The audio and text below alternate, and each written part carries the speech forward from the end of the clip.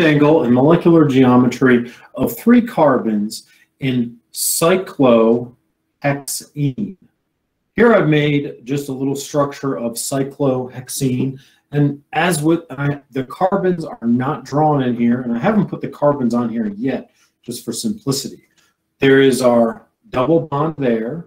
It's a cyclic compound, and the hex tells us the number of carbons, just like our geometry class. First thing I want, to, want you to recognize is that how this thing doesn't lie flat like a dinner plate. This picture is lying to you. It is not flat. It's kind of got a pucker to it.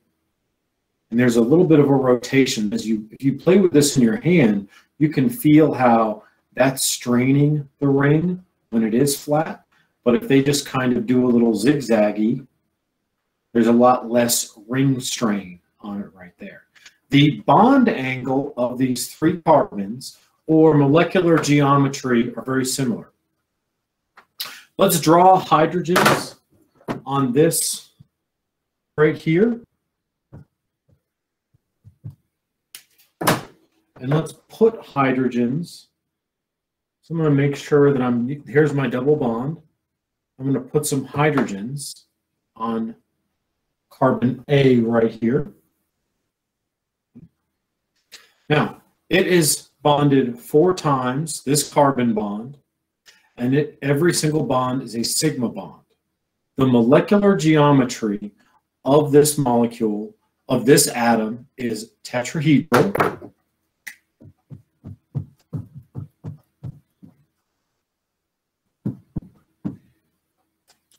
Each bond angle is 109 degrees, approximately.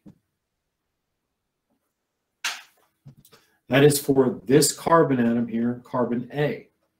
This carbon is sp3 hybridized. Its atomic orbitals, it's 1s and three valence orbital, it's three p valence orbitals are hybridized to form one sp3 orbital. Watch how I count the sigma bonds around this carbon. S, sp1, sp2, sp3.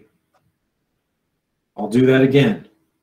S, sp1, sp2, sp3. So that is the geometry, bond angle, and, hybridiz and orbital hybridization of carbon A. Let's do the same thing for carbon B. Now, carbon B, let's put some hydrogens on carbon B. Now, carbon B, it also, let's draw some hydrogens. This carbon is also bonded four times. All of its bonds are sigma bonds. Let's count the hybridization. S, SP1, SP2, SP3. It is also SP3. Therefore, it is tetrahedral.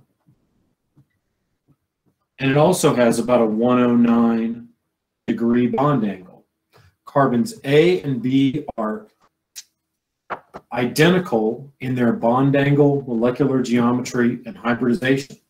When you have hydrogens on there, you can see the pucker and the twists that can occur in this cyclohexene. Finally, atom C or carbon C. Let's draw the hydrogen on there.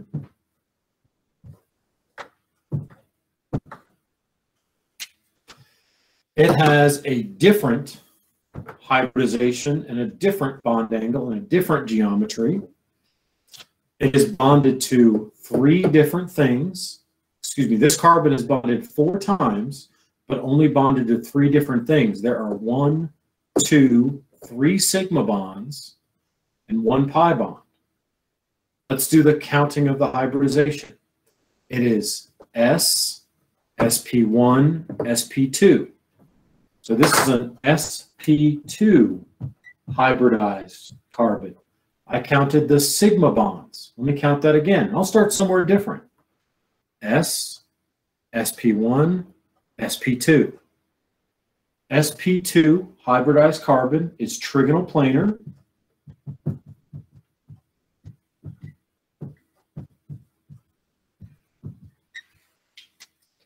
On this model, you can see, just focusing on this carbon, that it is three things around it. It's a planar type geometry. When, there, when three things are around it and it's a planar type geometry, the bond angles are about 120 degrees. Thank you.